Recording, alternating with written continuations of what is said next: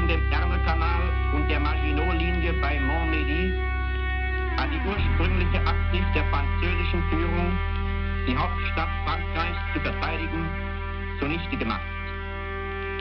Paris ist infolgedessen zur offenen Stadt erklärt worden.